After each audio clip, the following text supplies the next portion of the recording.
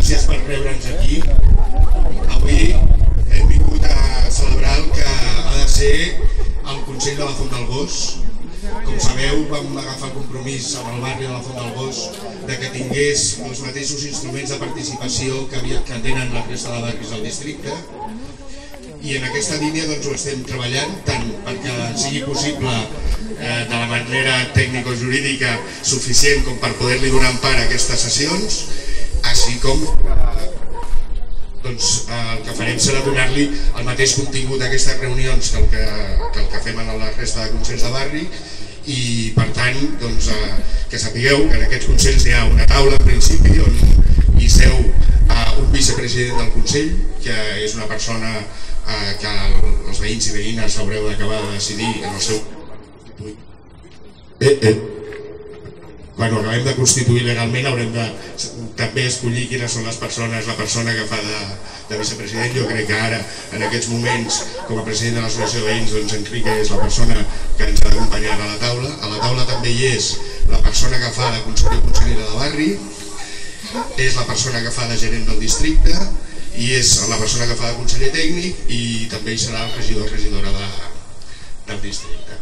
Ens acompanya també la Cecília, com a tècnica de, de Barbie, que fa les funcions de poder recollir-ho tot. Tenim un equip tècnic que ens grava a eh, la sessió i per tant d'aquí sortirà un acte fidedigne de tot el que s'hagi de, de tot el que s'hagi dit. Serà penjada també a la pàgina web junt amb la resta de consells de barri i que es que fan al districte i bueno, doncs aquesta és la, la dinàmica de la sessió.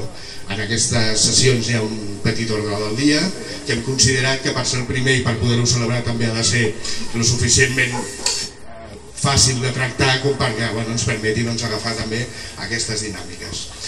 Teníem dos punts principals a l'ordre del dia.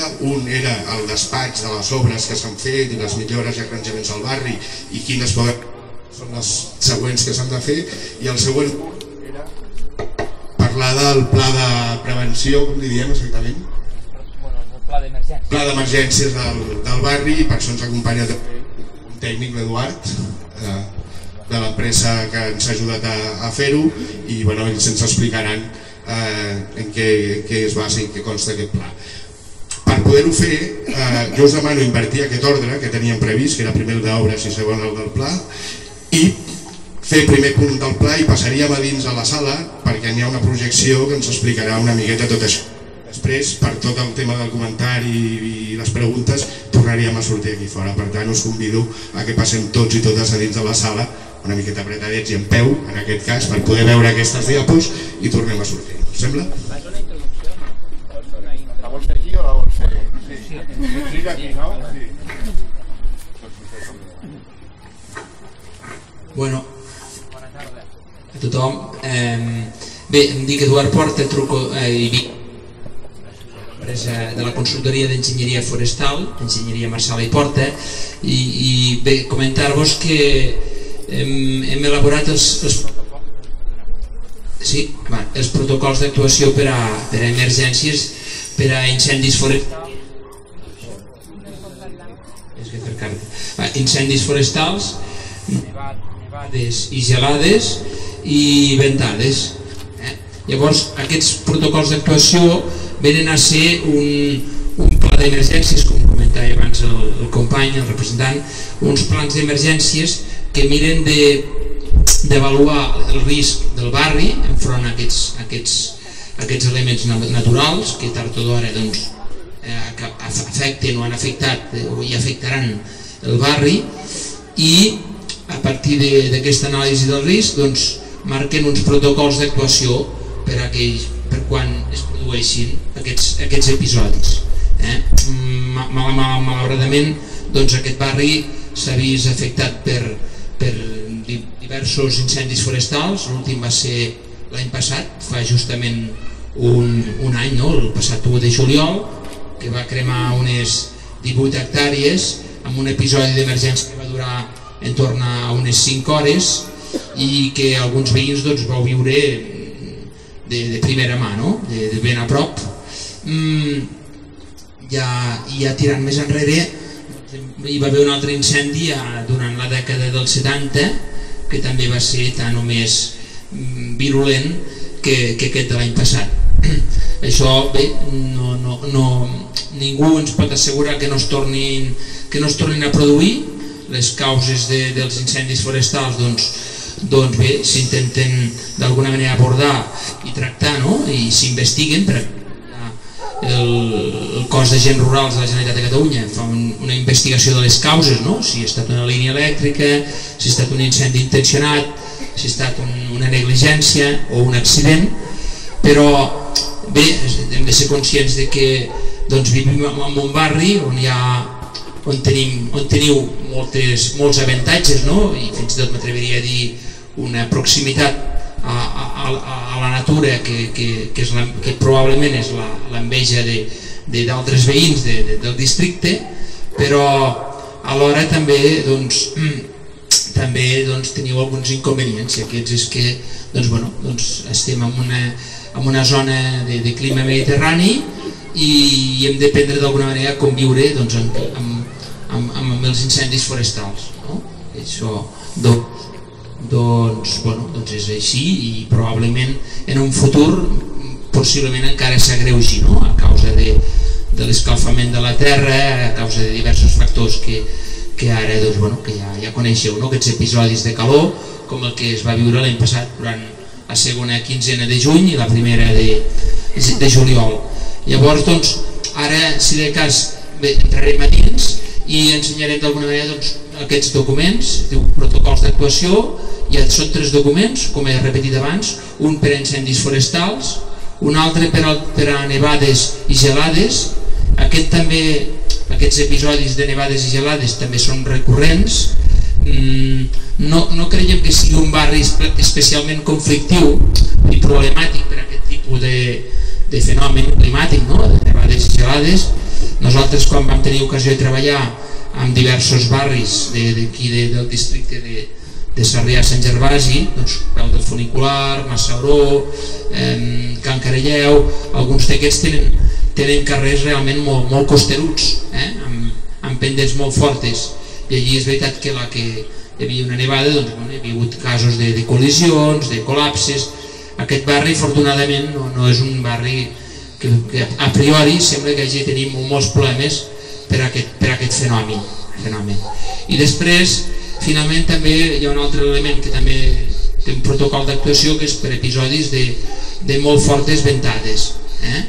Això també per aquells que, que ho coneixeu doncs, doncs, bueno, doncs hi ha hagut episodis de, de, de, de molt fortes ventades que es poden produir doncs, a l'hivern, a la primavera, a la tardor i, i que bueno, molts cops doncs, el que causen és eh, caigudes, de, caigudes i trencament d'arbres eh? de, de, que estan als nostres vials, als nostres jardins i de vegades també, malauradament, també, doncs, bueno, elements de mobiliari que salten pels aires i, bueno, doncs per això també es va considerar que també era, hi, ha, hi ha zones d'aquí de, de, de la muntanya de Coixerola que estan més exposades, no? el fet de tenir més altitud.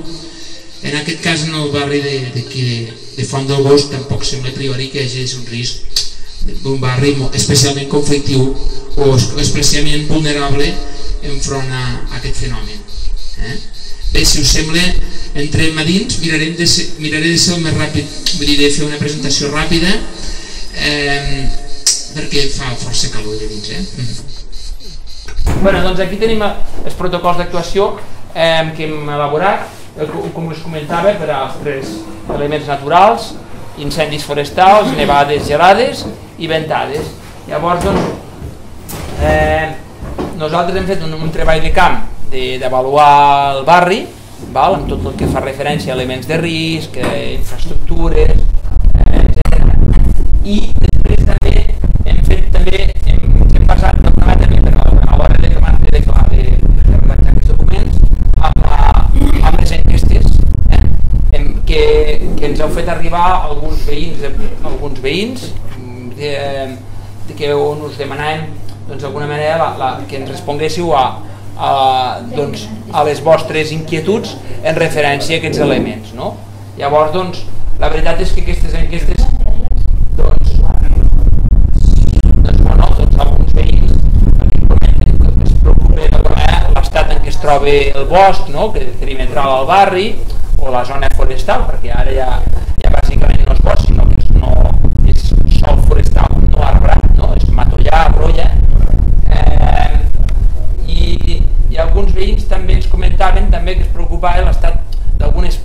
d'algunes parcel·les que no estan urbanitzades, no? això també que doncs, no estan edificades, alguns, això és una manera també doncs, eh, i, i també que és veritat que molts explicaven la seva vivència amb tot el que van viure l'any passat. Eh? Eh, bueno, anem, anem a passar d'alguna manera també, direm, aquest document jo crec que també és important que tingueu present que s'integrarà al Pla de Protecció Civil Municipal de l'Ajuntament de Barcelona. Val? perquè d'alguna manera eh, bueno, doncs bé, doncs s'integre, passe a ser un, un, un element més a tenir en compte per, eh, en l'activació del pla d'emergències o pla de protecció civil municipal de, de Barcelona. Eh? Això és, és important que ho tingueu present. Per què? Perquè d'alguna manera la informació que recull aquí doncs, eh, també s'adreça als cossos d'emergències això també crec que és un element a destacar. És a dir, aquí es recull una informació detallada del barri val? que, eh, que quede a disposició també dels cors d'emergències per quan hagin d'intervenir al barri. Val? Crec que també això és un, un element a importar, un element a destacar. Val? Llavors, en el, ara grans trets, eh, després ho passarem. En el cas de eh, aquests, els, els protocols que preveu, en el cas dels incendis forestals, són dos tipus de protocols, ens referim a dos tipus d'ordres bàsiques que són l'ordre d'evacuació de, i l'ordre de confinament eh? el confinament és recloure's, tancar-se a dins de casa vale? en el cas de l'evacuació doncs es refereix a, a que l'ordre que es dona des dels cossos d'emergències eh? des de, això sobretot d'alguna manera determinat pel cap de guàrdia dels bombers val? que determini doncs, que donada la proximitat de l'incendi forestal, donada les causes que consideri convenients, consideri que els veïns, ja sigui d'un sector del barri o de la totalitat, han de ser, han de, eh, han de ser evacuats. Eh? Llavors aquí també es preveu uns avisos, es calcula, s'ha calculat també un temps d'evacuació estimat i, i el tipus d'evacuació que s'ha previst per no obstaculitzar la circulació de, dels, dels vehicles de que intervenen a les emergències és l'evacuació a peu. Val? L'evacuació a peu, a excepció de... Ara ho veurem aquí, perdoneu,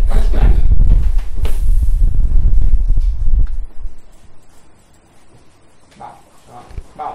No sé si ho veieu gaire, mirarem miraré ampliar una mica més. Aquí veiem, nosaltres hem, de fet, hem sectoritzat el barri en dos sectors, el sector eh, nord-nord-est, que correspondria a, a, pròpiament al de Font del Gos, i el sector, diguéssim, oest, que seria el de, el de Camp Papanàs, pròpiament. No? I després s'ha previst també un, aquí a l'extrem nord d'aquestes cases que donen a la carretera de Cerdanyola, s'ha previst en aquest cas per, únicament per aquestes cases que donen directament a la carretera eh, l'evacuació en, en vehicle. Eh? Vale? Seguim. Eh, bé, també s'ha... Fixeu-vos, no entraré en molt detall també, però que doncs, bueno, aquí es posa a disposició una cartografia bastant detallada del barri. Eh? Doncs en tot el que fa referència a carrers sense sortida, eh, punts, de, punts on, on es pot, ara després comentarem, punts de rebuda dels bombers, punts de gir, estacions, eh, carrers amb accessibilitat limitada, vale? eh, i eh, hidrants, estacions transformadores, etc. Eh? I després també, bueno, després també comentarem una mica el tema de les alçades dels arbres. Eh? Eh, com a... Veieu, veieu, aquí surt un directori de, de veïns voluntaris que bàsicament s'ha elaborat a partir de, de les persones que van, que van respondre, que ens van fer arribar l'enquesta. Eh? Bueno, I llavors doncs, també s'ha determinat també uns elements vulnerables, en aquest cas són uns equipaments que hi ha dins del barri eh, com són el Centre Educatiu, educatiu Can Llupià, la Regència Universitària Àgora, eh, el Centre Social, en fi, no estem ara, i, i, la, i el túnel de Sant Just d'Herbert de les aigües Ter Llobregat. Eh? Però aquests elements vulnerables, d'alguna manera, eh, a excepció del centre social, eh, també disposarien del seu propi pla d'emergències, eh, del seu pla d'autoprotecció, Vull dir que sí que és veritat que estan dins del barri i s'han identificat, però eh, com a, ja aquests equipaments ja estan, tenen una normativa ja que, que, els, que, que els obliga a disposar dels seus protocols i del seu pla d'emergències. Eh? Mm -hmm. vale. mm, bueno, com a dades com a dades així d'interès, no? eh, l'àrea gestionada per aquest protocol d'actuació són unes 18-19 hectàrees. Eh, la totalitat d'habitatges que s'ha calculat a partir de, de fonts d'informació municipal està en torn a 170 habitatges vale? i la població resident s'ha estimat en, en torn a 300, bueno, uns 326 persones. Eh? Eh, bueno, les quals també aquí sí que la població per edats sí que és curiós també veure de que bueno, doncs realment hi ha un, hi ha un percentatge alt de població d'edat avançada. Eh? Això també és, crec que és un tret a destacar, és a dir, que el barri hi ha un percentatge alt de població de, de més de 65 anys. Eh? Eh, aquí d'altres dades de vulnerabilitat, L'amplada dels carrers oscil·la entre els 3 metres i mig i els 4 i mig, eh, en molts no hi ha voreres, eh, i els vehicles freqüentment es troben aparcats als costats dels vials, estrenyent el pas i dificultant l'encreuament en, en trànsit. Bé, mm, seguim, eh? Mm, aquí ja ho dèiem, aquí, aquí hi ha unes fitxes, aquí els protocols que s'adrecen, com hem dit abans, a, als cossos d'emergències i després també fem unes fitxes per, al, per als veïns implicats en la posada en marxa d'aquests protocols. Vale? Eh, el que hem fet, a partir de, de, bueno, de, de, de la gent que va respondre a les enquestes i consultant amb el president, el senyor Lifa, és constituir un grup de suport a la intervenció, eh? format per veïns que, del barri que en cas de que es produeixi, en aquest cas un incendi forestal, doncs donarien un, un suport, atendrien a, als cossos d'emergències que arribessin al barri, eh? sempre i quan se'ls requerís aquest suport. Eh? Però bueno, eh, doncs, com diem, eh? diu suport a les directius del centre de comandament avançat i avisos als veïns, eh? comunicació amb els operatius. Val? Eh, diu, els mitjans materials dels veïns s'activaran prèvia comunicació i autorització per part del centre de comandament avançat. Eh? Bé, les persones... Baixarem una mica. Eh, a dia d'avui, l'equip de veïns està format per aquestes persones. Eh, aprofito perquè si hi ha algú que s'hi vol afegir, doncs serà encara, és un document que encara no el tenim tancat, sí que la intenció és de tancar-lo ben aviat, però bueno, encara, encara el podríem incorporar. Eh? Com a màxim representant tenim el senyor Enrique Alifa, eh, i després tenim el Jordi Pinyol, el Miquel Ramos, el Jordi Cortijo i la Sílvia Rodríguez. No sé si alguns d'aquests esteu aquí presents. Va. Bueno, comentar-vos que se us farà arribar aquestes fitxes eh, a aquests membres val? Eh, que hi ha un diagrama amb una fitxa informativa, no sé si ara també esplayar-me o després ja ens centraríem una mica amb ells, eh? però bàsicament en cas, en cas de nevades i ventades els protocols són més clars perquè l'ordre que, que es dona des dels centres de, des dels, des dels centres de comandament dels bombers és la de confinament eh? vull dir, aquí ja no, ja no es preveu l'evacuació en cas vull dir, precisament el que es diu és hi ha un episodi de fortes ventades doncs es recomana a la població que en la mesura que sigui possible eviti els desplaçaments i es tanqui a dins de casa seva durant aquest episodi que durarà de les 8 del matí fins a les 12 o la 1 del migdia. Eh? Això és, ho haureu sentit no? per quan parlem de, de l'activació dels plans de protecció civil municipal, dels plans de protecció civil d'àmbit nacional de Catalunya, etc. No? En, el cas de, en el cas dels incendis forestals, ja com he dit, estem parlant de, els bombers han de, han de prendre una decisió que és molt important, és evacuar o confinar. Eh? Eh, el confinament en cas d'incendi forestal és una ordre que, que tampoc ens ha d'estranyar, no? perquè de vegades dius no hi ha temps per fer, no hi ha temps per fer una evacuació segura, doncs el millor és que la gent es tanqui dins de casa seva i que, i que faciliti d'alguna manera que, que els bombers es puguin desplegar i, i protegeixin les llars. Eh? Com ja sabeu, els bombers tenen tres, les seves prioritats. Primer són, en cas d'un incendi forestal, primer són les persones, insisteixo, primer són les persones, després són les, ja, els béns, les llars, les, les cases, els habitatges, les, les mascotes, això també ho dic perquè també és important, i finalment és el bosc. Eh? Vull dir, això també, vull dir, ells primer tindran a protegir el barri abans que doncs, apagar el foc a la muntanya. Eh? Vale? Llavors, l'evacuació, com us he dit, del barri que s'ha previst és l'evacuació a peu. Eh? I s'han previst dos, dos llocs, diguéssim, on, eh, on les persones seran com uns punts de trobada, eh? que es consideren unes zones prou segures que no es podrien veure per, afectades per, per un, que, no, que quedarien d'alguna manera a marge d'un incendi. Un és el parc el Xavier Montsalvatge i l'altre és l'aparcament del, del velòdrom. De fet, s'han previst com a dues vies d'evacuació tenint en compte doncs això, aquests dos sectors que veiem abans, eh? Font del Gos i Camp Apanats. Vale? Eh, bé, mm, ja ho espera, marxem. No sé si teniu alguna cosa més també.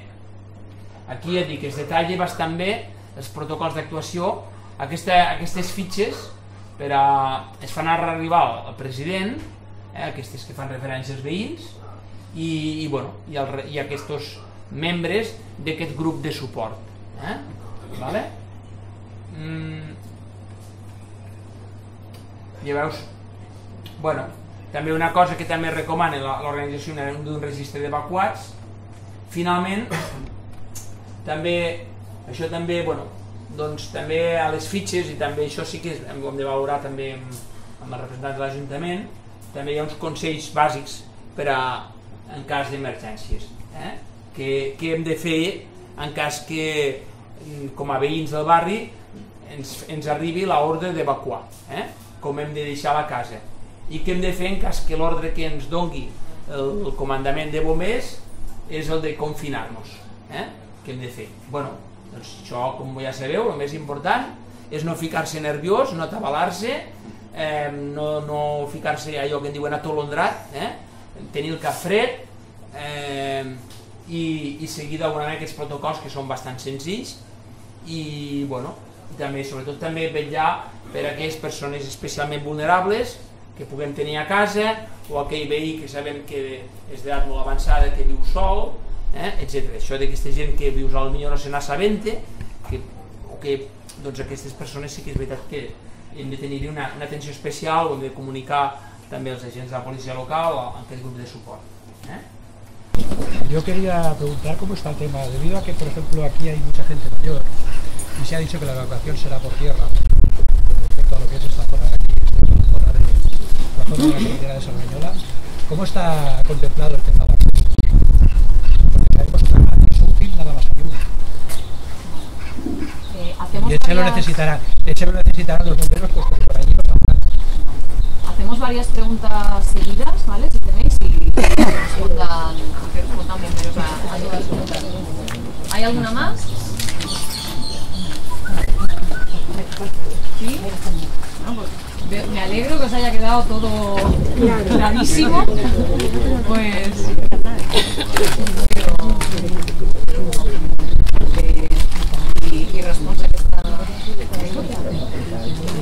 Bueno, a veure, nosaltres aquest, aquest document eh, l'hem elaborat de colze a colze, diguéssim, amb els serveis tècnics del cos de bombers de Barcelona.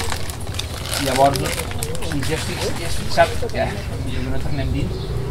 De fet, hem, vist, hem previst dues, vies, dues vies d'evacuació de, a peu. Una és la que coneixem, coneixeu, que és aquesta d'aquí, del sector d'aquí de Font del Bosch, i l'altra és la que fa cap de manera aquí a, a la d'Horta i al, i, al, i, al, i al velòdrom, pel sector de Campapanats.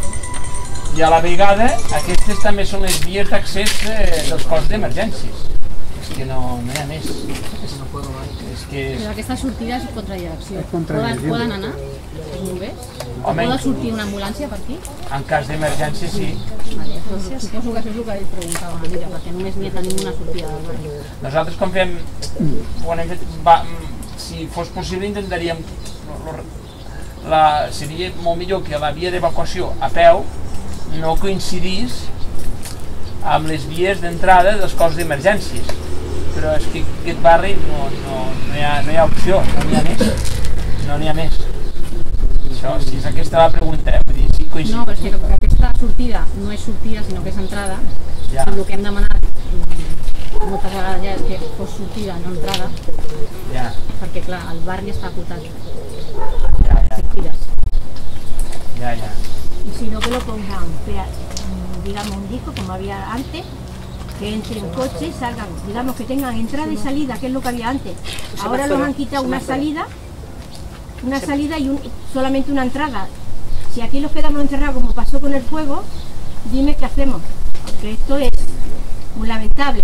Si eso está con algo que un coche, como pasa con las luces, que pase el coche, y se encienda la luz. Semáforo, semáforo. Ya está, nada más. Es tan, sencillo como eso. ya lo pusieron, pues, Es que ya estaba antes cuando las obras. porque lo quitaron.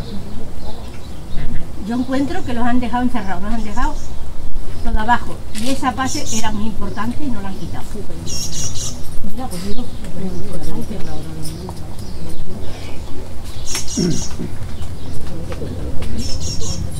al centre Vigro? Sí. Vale. Sí, la cosa, sí, és cert, el barri té la conformació que té, és, és possible que, que, aquestes, que, que aquestes feines que fem ara i que evidenciem junts doncs ens permetin veure per on podem millorar i, i ningú nega que aquesta pugui ser una de les qüestions, eh? que hagin d'estar sobre la taula i que ens permetin de millorar És Es que jo encuentro que seria lo mejor. Però més coses volia comentar. Sobre el, el que hem vist ara, el que ens han explicat és el pla d'autoprotecció del barri, i una, el el 14, de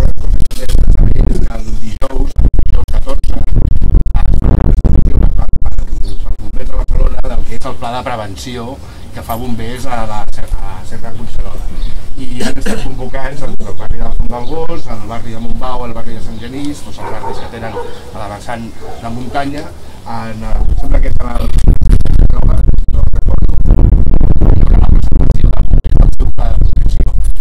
on ens explicaran millor que, és, que òbviament els bombers entren i surten pel carrer que ells necessiten i els hi és igual de sap en aquest moment perquè és una emergència, per tant, ells actuen i ja està, no, no hi ha nada que discutir en ese sentido. Però allà podrem veure millor també com actuen els cossos de bombers en el, quin pla tenen per, per actuar. I més enllà de l'actuació concreta en cas de foc, quines són les accions de prevenció també que s'estan fent a la muntanya en tota, de, tant de vigilància com de presència, com de millores de, de la protección, Vale? Pero sí, sí, tenemos nota de que al barrio pot ser también sortides y que potser algunas, aunque que si es en cas de te digo que la luz roja o ámbar en ese momento no tiene pero estaría muy bien. No me digas que no. No, no, no he dicho que no. bueno, yo te lo, te lo veo porque tú no tienes la idea clara, yo te la digo. Lo mismo, es una entrada que antes era entrada y salida y no había habido nada. Ahora la han puesto contra dirección para nosotros. Nosotros no podemos salir. Yo creo que es más lógico que se ponga como antes estaba.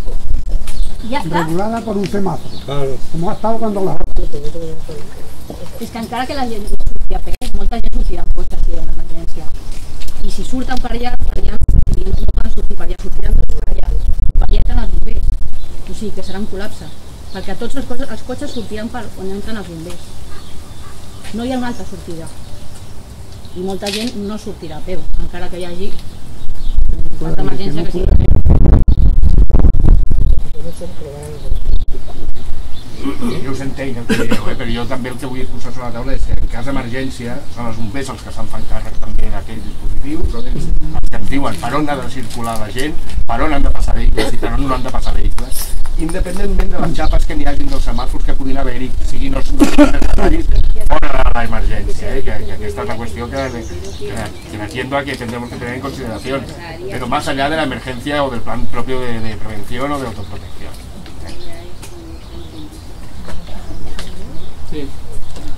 Pues eh, si no hay si no hay más preguntas del tema de emergencias, recordamos, o sea, situamos esta esta reunión con bomberos para ampliar para ampliar todos los temas y ahora pasaríamos al, siguiente punto, que son las obras obras en curso y las que están un poco también en, la perspectiva más, más inmediata, un repaso un repaso así genérico que nos hará el, el gerente para explicar qué es lo que hay ahora mismo, ¿de acuerdo?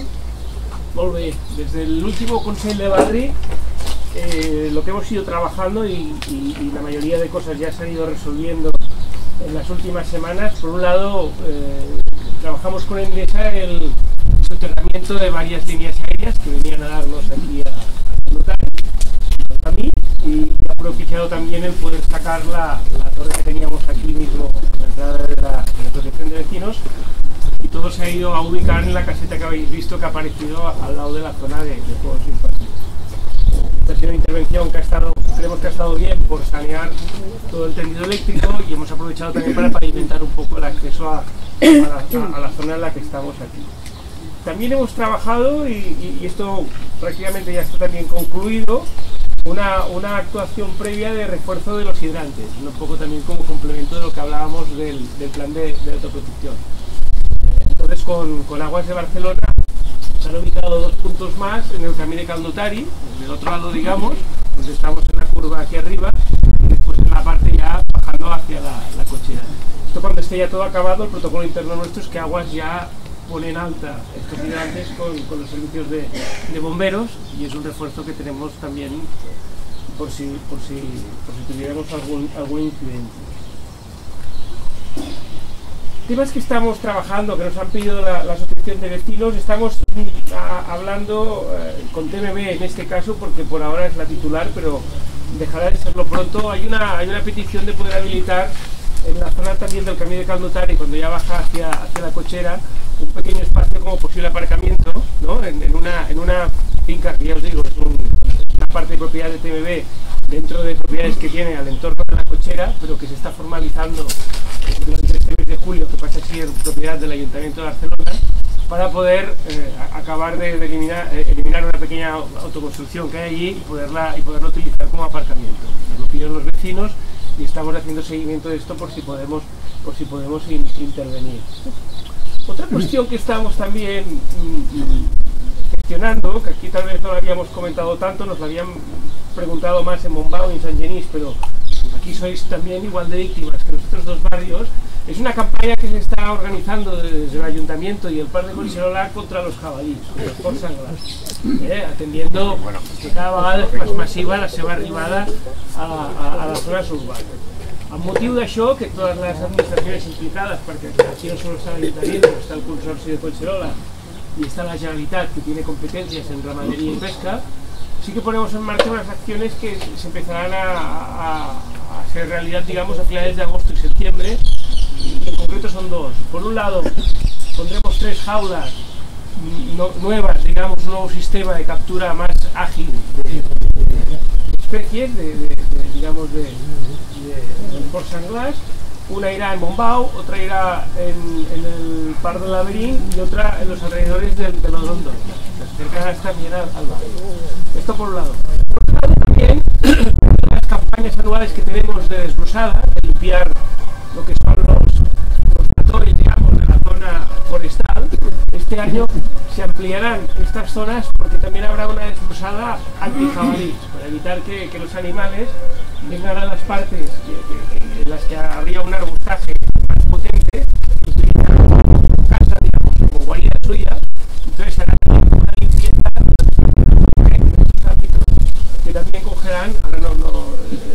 parte del, del barrio de Fondago. digo porque será una intervención un poco más potente de la, de la que hacíamos habitualmente, ya no solo por el tema de impacto, sino un como eh, una medida preventiva de que eh, hacia, hacia, la zona, hacia la zona urbana. Y prácticamente es eh, esto, hay una iniciativa Javier por aquí y, Enrique nos la trasladado también, la estamos acabando de examinar todo y que no es fácil. La propuesta de los usuarios que estáis en el, fútbol de Cañellas, si no me equivoco, poderos trasladarlo, a hacer entrenos y a jugar a fútbol en el campo de fútbol aquí arriba de, de este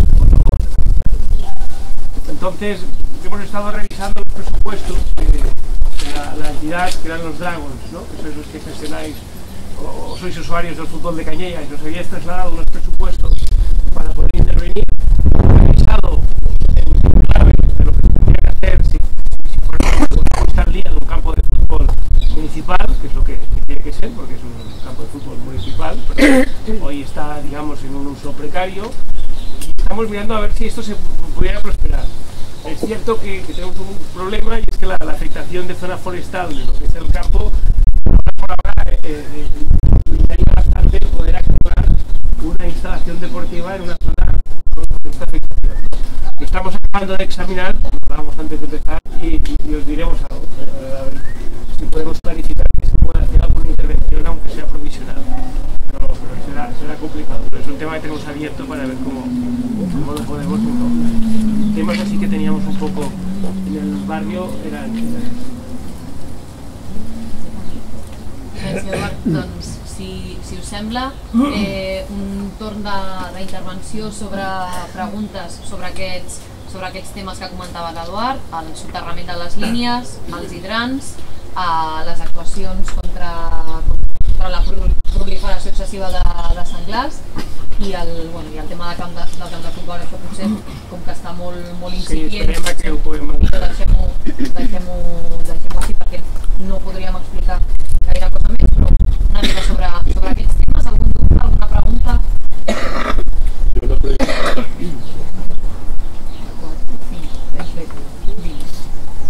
Comenci usted. Yo. Sí. Eh, yo la pregunta, si en aparcamiento, ¿podría pasar la autobús por el barrio? Un autobús podría pasar por el barrio. 185. El minibús que passa el vol dir que... donar la volta pel barri. Ah, si se hace, se le no,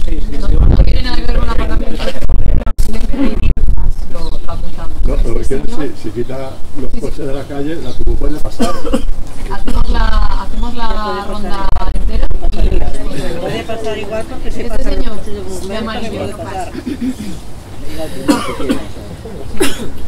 No, yo quería preguntar si habían hecho lo de la, la luz subterránea, pero no van a seguir, como se habló en la, última reunión, a continuar con el tendido que está por encima de la calle, que sale pega las casas y todo lo que está muy bajo. ¿Se va a dejar como está o se va a continuar? ¿Yo? A ver, eh, yo lo que quería decir es que, vamos a ver, ponéis pues, dos hidrantes, uno... Hablar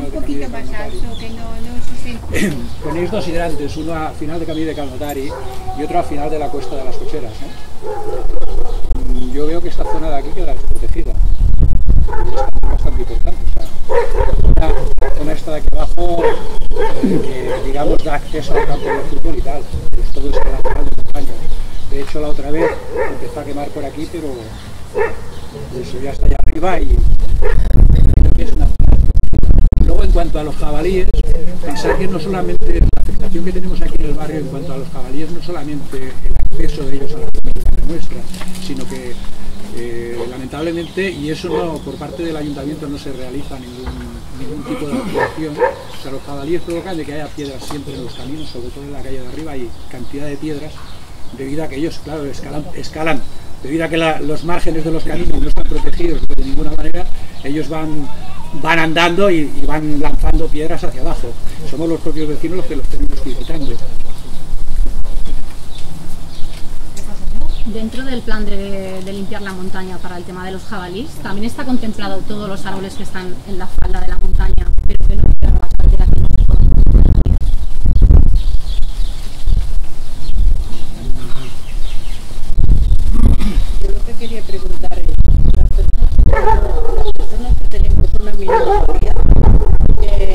si nos hacen los de los coches, no podremos, si de donde aparcar hasta arriba como lo haremos. Porque supongo que pues, podremos aparcar delante de casa, dejar a la persona y luego aparcar el pues, coche donde hagáis el aparcamiento. O pedir una plaza de, de Sí, comentamos. de los temas que, habéis planteado, el, 185 vinculado al aparcamiento, y así también un poco lo conecto con la última pregunta. El, aparcamiento es una zona que no es muy extensa, digamos, es una zona que no, es, muy amplia, y todavía no sabemos las plazas de No como no es propiedad municipal hoy, es, es, es, entrado a analizarlo, con lo cual que es cierto que la demanda está para gestionar de aparcamiento, pues es la parte de aquí arriba del camino de pero no sé si van a poder aparcar cinco coches y que va a afectar el, el paso de Madrid. lo cual esperemos a que para un paso a paso. Se ha rescatado como, como solar municipal, podamos hacer la intervención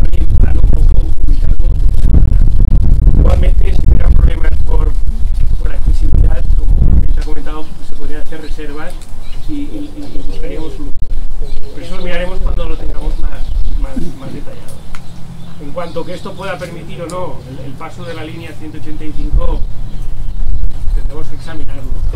Ver también hasta qué punto queda descongestionada toda la calle o de las posibilidades que tiene esta línea. Acabo, acabo con los temas que habéis, comentado decía, el tendido de las calles, ciertamente lo que ha hecho ahora Endesa es solo la parte, digamos, forestal.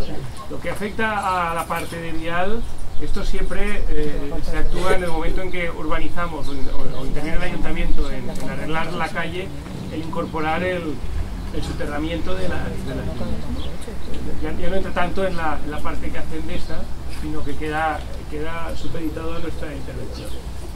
Sabéis que dentro de este mandato tenemos unas líneas de acciones que hemos trabajado también con, vosotros.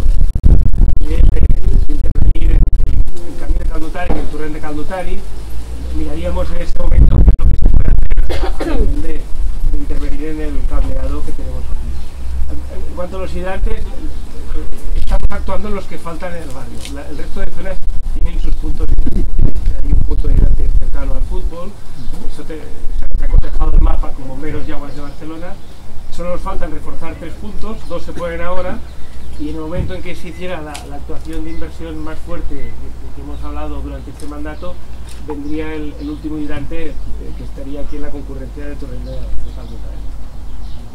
La poda de los árboles, eh, eh, claro, no, tiene nada que ver con la deflusada antijabalí, digamos.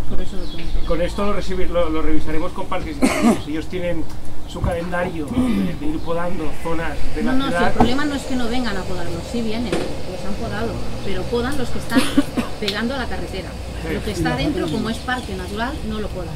Entonces, o, lo, o, lo, tramita el ayuntamiento o lo tramita el Parque Natural. con ellos porque esto estar coordinando Y estos son los temas. Mm.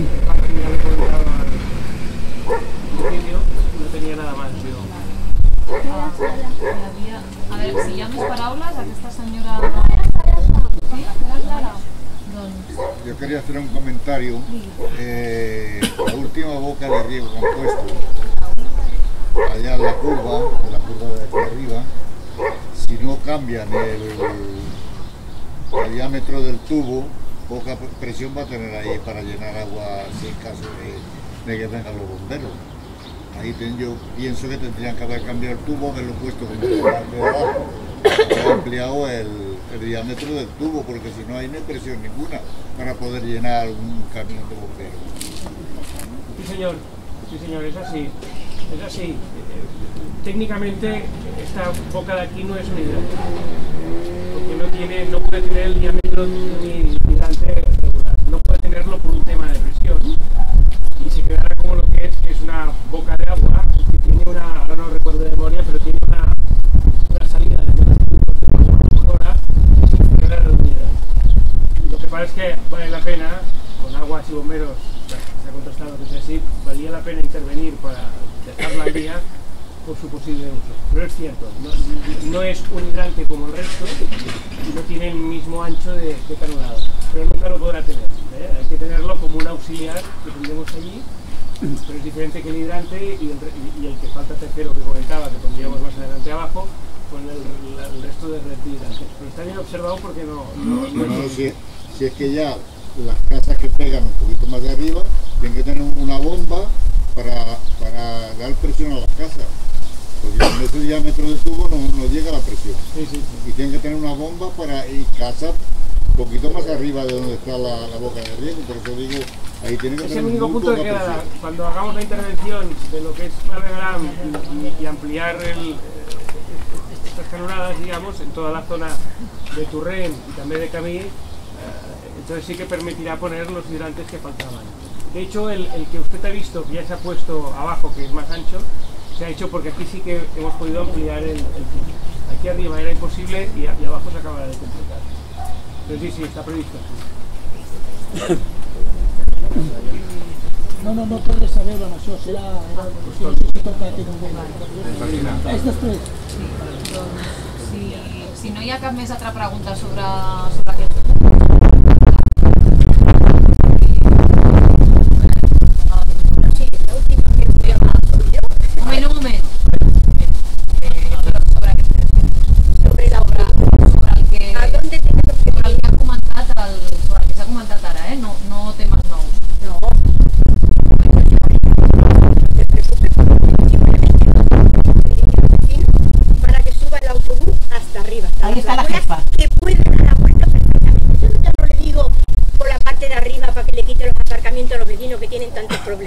Simplemente que dé la vuelta arriba, a mí me iría muy bien.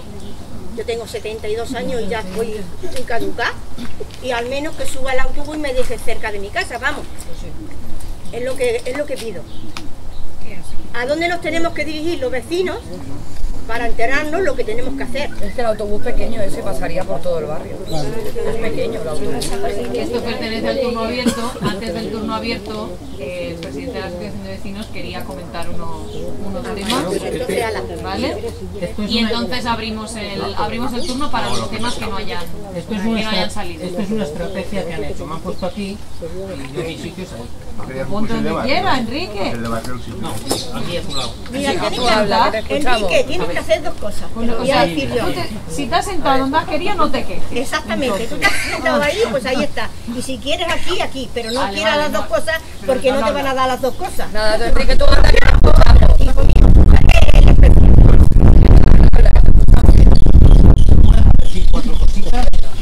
Tengo también dos, dos cosas especiales dos personas especiales del barrio que, al menos una creo que deberíamos solucionar, o por lo menos mirar a ver, a ver cómo yo os quiero decir, vecinos, hoy que hoy es un día especial para nuestro barrio. Hoy oficialmente, a título administrativo, dejamos de ser ya el barrio 11 más 1 para ser el barrio número 12 de nuestro distrito. Este es el primer Consejo de Barrio que se hace en Condego.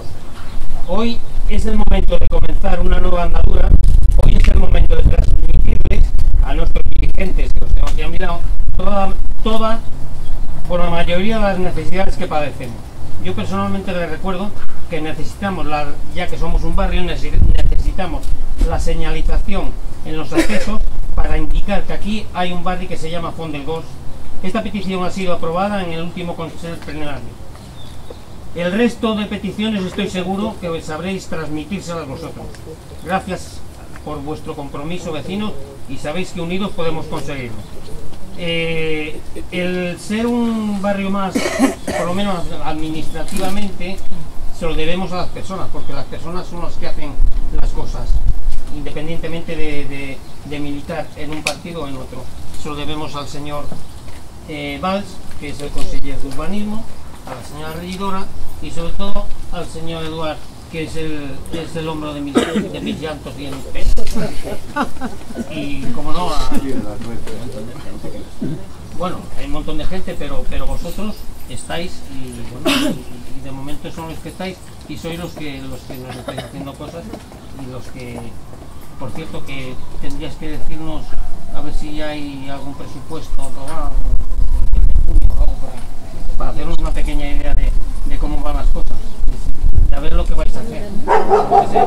Después hay que continuar, evidentemente, hay que continuar con, con lo que empezamos.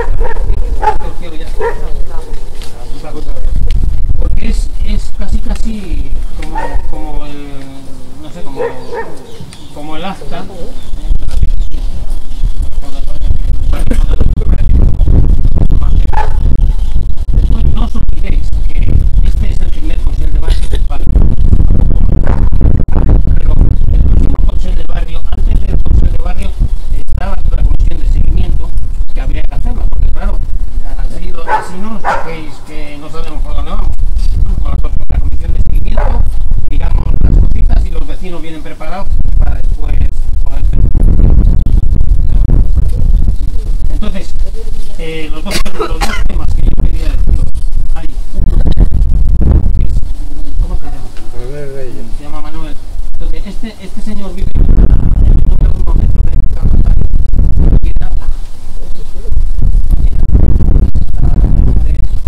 cogiendo el agua como puede de una fuente de, alguna fuente que hay por ahí subterránea y tal entonces no sé qué manera los problemas que, que hay o alguna cosa pero había que solucionar había que solucionar este problema de alguna manera porque claro lo que no puede ser es que hoy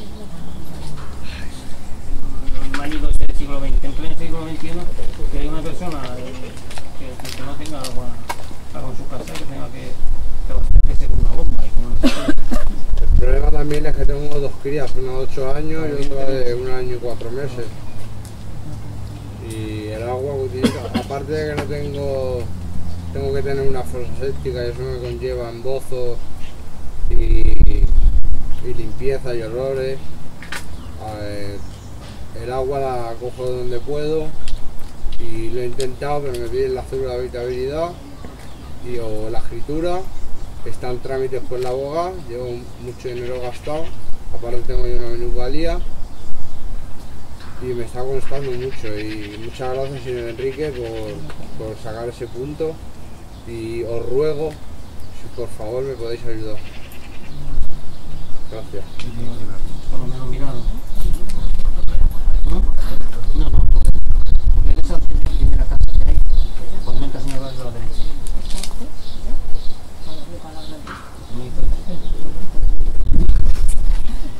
un inciso. Ah, le, tengo el agua a la vecina y yo llevo este, este mes, he pagado justamente este mes 240 euros de agua. Y con lo que gano y mi mujer sin trabajar con la niña pequeña lo de abajo.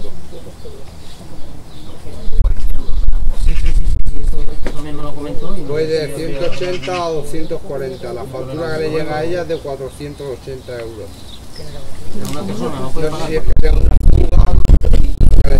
empieza No sé lo que pasa, pero por, eso os si podéis ayudarme a ponerme un contador y pagar lo que tengo que pagar, que es lo que, lo que que tengo que pagar. Si me podéis dar alguna solución. Fui con él, con el señor Enrique, cuando Raúl era presidente, se lo comenté a, a Francina si no, y no se le puse la pregunta correctamente y con perdón en nuestro caso y particularmente de mí. Le expliqué lo mismo que se les explica a ustedes, que tengo una minusvalía, que tengo 460, pero todo me das larga. Entonces si os rogaría, ya no por mí, sino por mis hijas, y por poder alimentarlas mejor, porque tengo que pedir préstamos para, para poder apalear los problemas del agua si me podéis echar la, mano, aparte estoy al lado de la fuente, luego mi, vecino de etnia gitana, se llama Enrique, me ha puesto el agua porque se puso a picar en medio de la carretera. Entonces yo no sé qué debo hacer o a dónde tengo que ir para que por favor me pongan el agua. Porque la vecina. Porque la vecina con el tema del pago de los de los importes me va a cortar el agua. y mis hijas no pueden estar sin agua. Si estuviese yo solo me daría igual. Cogería donde usaría la fuente. Bueno, después tenemos ya por fin que ese es un problema que mañana, mañana aquí a, al vecino también se ve que, entra su, su, vivienda en subasta, lo no sé es, eh, yo eh, no sabía nada del tema y no sé qué es lo que pasa aquí en la calle Gombrío. Entonces explica un poquito de, lo que va para que ellos no sepan y no sé si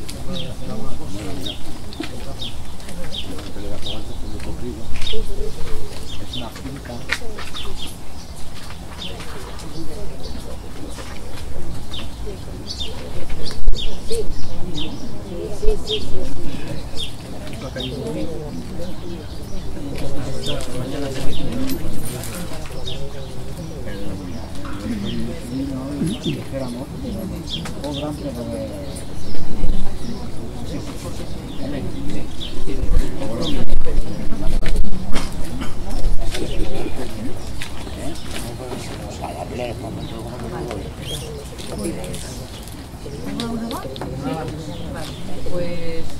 creo eh, eh, que ha acabado, si alguno, quiere responder algún momentillo, levantáis la mano y hacemos turno Hacemos turno así de todos los que, los que comentar.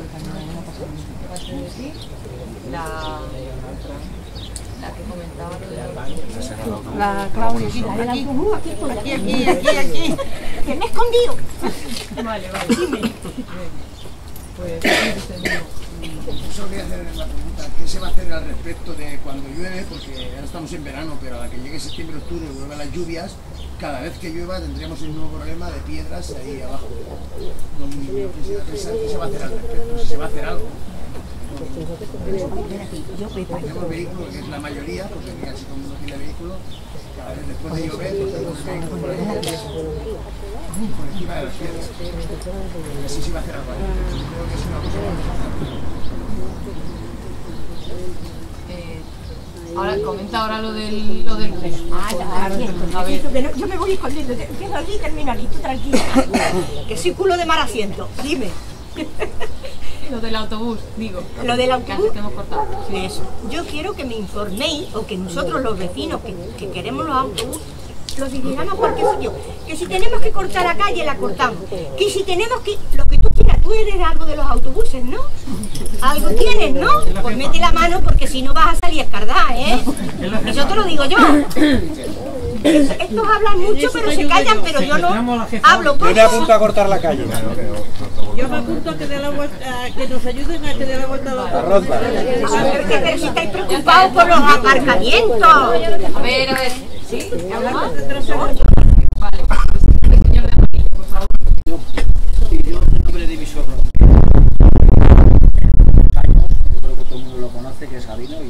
aquí en el barrio, que le llamamos la Fonda del bos y dice que dónde está la fuente.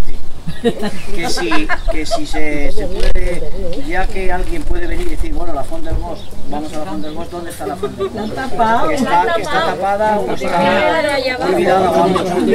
no lo pregunto, me pega. Entonces...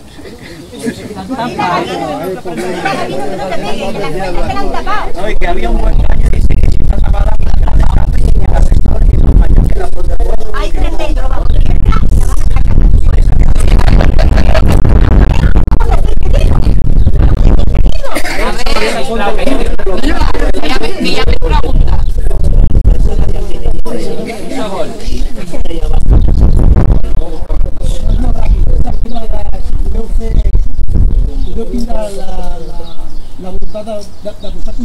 de la infeccions i pot allí a la, a la de o si no una multifracción Ah, sí, alguna si no, pero poder tres, no? A lo la multifracción si pot ser, el tema de la selección I a més, espai ¿eh? La última. ¿Yo? Bueno, yo... Eh, la ¿Han visto más manos? ¿Hay más manos? ¿Alguien más? ¿Alguien más quiere decir algo? Que me levantó la mano. No, no, usted ya ha hablado. No, pero ahora te pido otra cosa. Vale, pues luego volvemos. Ahora le toca a este señor de azul. La pregunta mía va corroborando un poco lo que dijo Enrique antes. Es dirigida al gerente y es con respecto a la reunión anterior que tuvimos, donde nos presentaron el plan, de reestructuración de y de Arreglos en el Barrio, que nos dijeron que aproximadamente en el mes de junio salían los presupuestos aprobados. ¿Cómo está el tema? Eh, ¿Esta señora? Sí, no, señorita. Eh, yo sí. Eh, Aquí somos señoras todas. ¿Verdad? Bueno, pues eh, es que han puesto, veo bancos así por el medio del barrio, pero no veo basuras. Con papeleras. Papeleras de basura. Sí. ¿Papeleras o contenedores? Eh, no, papeleras. Vale. Ah, la última, sí. Con toda la bolsa para casa. Nadie más. Pongo aquí que me vea eh, como no me ha visto, ahora me pongo aquí. Vale. pues está todo Vale. Pues bueno, eh, mm, Todas, ¿eh? Las que tengas ahora. Ahora las digo todas. Mira, yo estoy en la boca del lobo. Bueno, pero ahora lo vamos a ver. Yo quiero que pongan con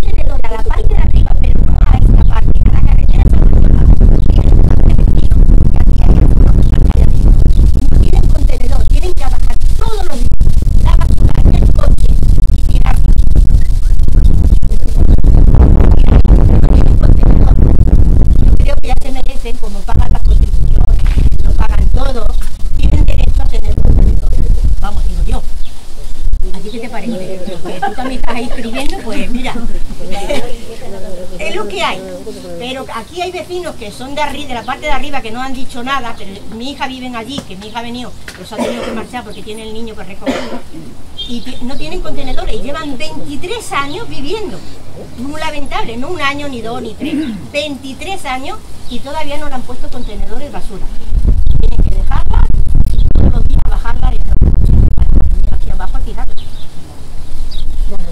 refrigeradores cambiaban cuando salía para separar, ahora no.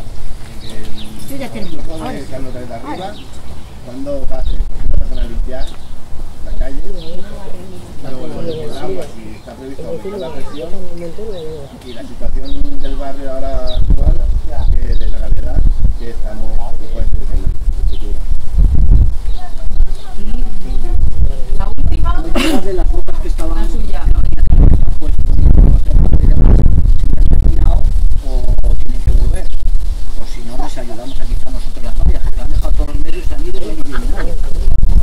Entonces, sé que lo han dejado mal, ¿eh? es decir, que, han hecho sus cosas y está aquí yo a la buena de Dios, no lo han dejado acabado como tiene que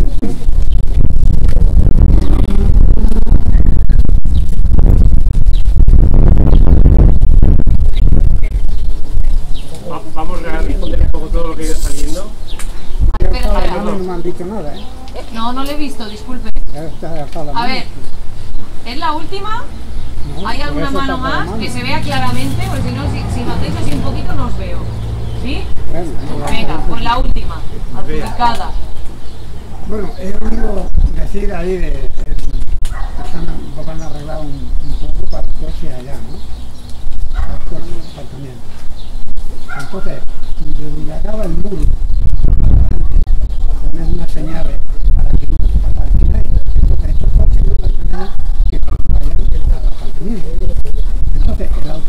venir desde abajo de la luz y ir a su sitio. Y poner un par de paradas por lo menos aquí, que la gente mayor nos cuesta a andar a coger la Si puede ser, mira, esto porque tengo que... los de abajo no tenéis problema con el aparcamiento, ¿eh? Y temas, muy puntuales. Eh, la petición de señalización, tomamos nota y miramos de, se aprobó la semana pasada. Se aprobó el plenario. Bueno, encargaremos a los técnicos que miren los puntos de La dificultad de conexión de agua, por lo que he deducido, hay algún tema también de la cédula, de habitabilidad. Hablamos con servicios técnicos y vemos cómo poderlo desencallar y también lo hablaremos con, con Aguas de Barcelona. me dijeron que estaban acabando.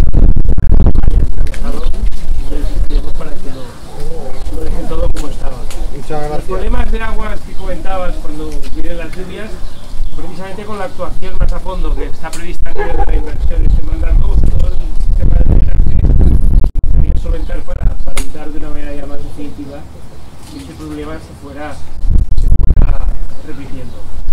También dentro de este grupo de, actuaciones, pues miraremos de incluir la FON, la FON del Mira, vamos a poner un, una foto. Este decía que hay un libro que se pues editado y está el tema de la historia. Lo pues pescamos y vemos dentro de este pack de intervenciones que hemos hablado con vosotros, puntos No nos olvidemos de, poner una foto. Lo transmitiré. Porque si subo hoy, me manda a bajar otra vez. Después, sobre cuestiones de contenedores que habéis pedido y papeleras,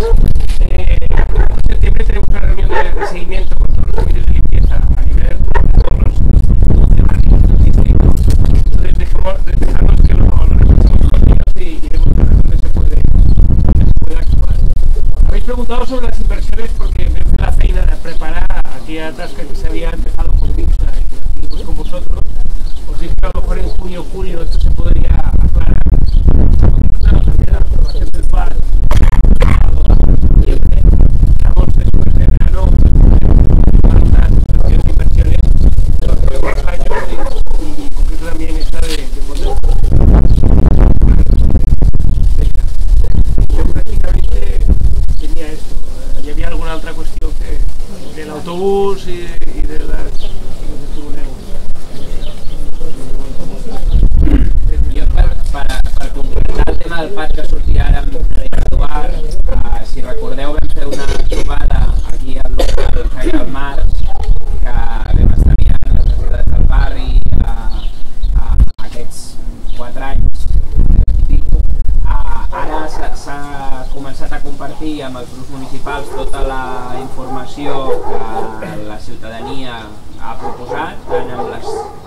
trobades com la que vam fer aquí i les altres 300 que es van fer a la ciutat, com a través de la web de participació que hi havia activada, el Decidim Barcelona, que en total teníem 10.000 eh, ah, propostes i s'està fent un document que la idea és eh, poder explicar-lo, eh, poder eh, tenir-lo aprovat diguem, amb la, i treballat amb la resta de grups municipals com per aprovar-lo eh, tornant de l'estiu, al setembre.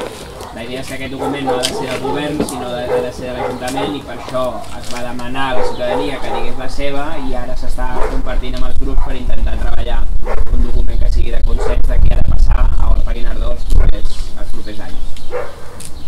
Bueno, per, per complementar una miqueta, eh? sobre el, sobre el tema del, del transport públic no? i de, i de l'autobús. No és únicament una qüestió de que el bus pugui passar físicament que ja és important, no? és, un primer, és un primer pas. Penseu que tenim a tota la ciutat demanant-nos més servei d'autobús i sobretot més servei de, de busos de barri.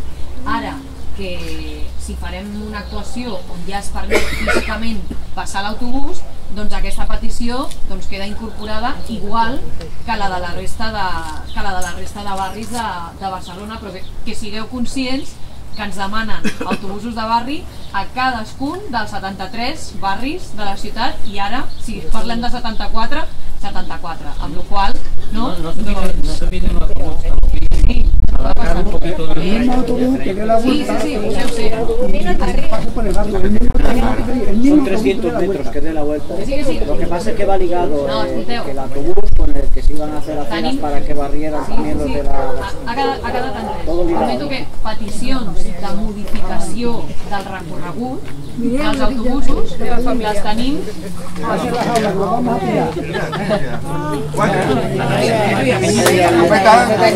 Todavía no están puestas las tablas, ¿eh? Todavía no están puestas las tablas. Es que sabían que estábamos hablando de ellos. Han oído, han oído. Mira, mira. Una foto de... Mira, estos no son los más grandes. No.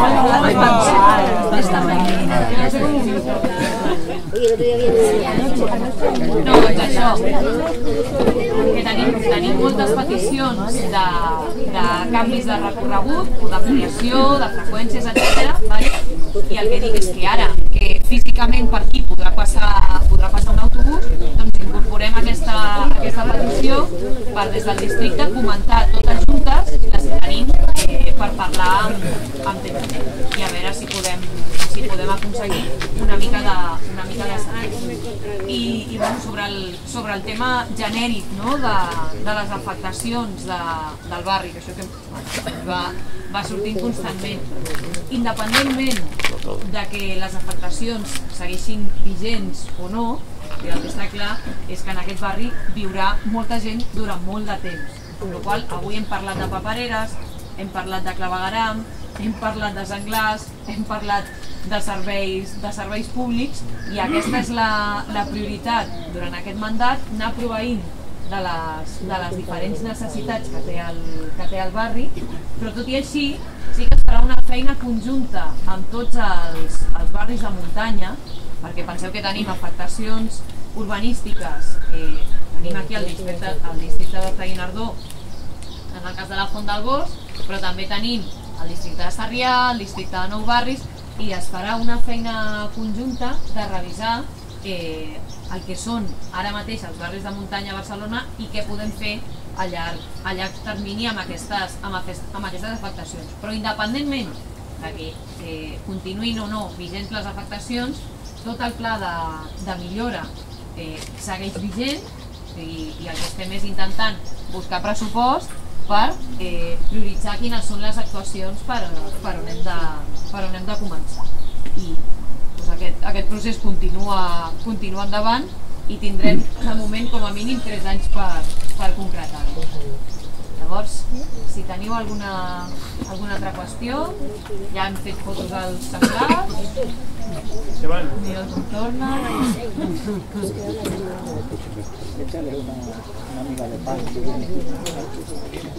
Sí, sobre els cas particulars i de es parlem, parlem en, en privat, igual que enfoquem també a lo de la, de la subhasta. Sí?